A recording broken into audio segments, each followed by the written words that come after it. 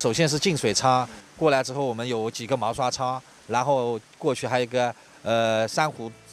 那个活山岩的一个仓，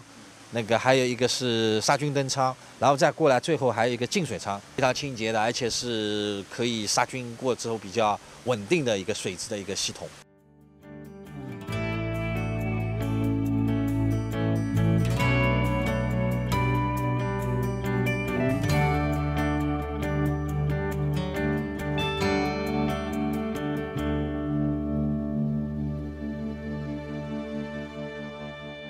这个这个彩绘叫做汉文景彩绘，它是明末清初的时候晋商崛起，富商为了装饰自己的豪宅院落，要求匠人们设计出独一无二的彩绘方式，但是好多方案都得不到富商的认可。最后，有一个老匠人通过汉代瓦当的线条分隔，设计出了一种方案，因此得名叫做汉文景彩绘。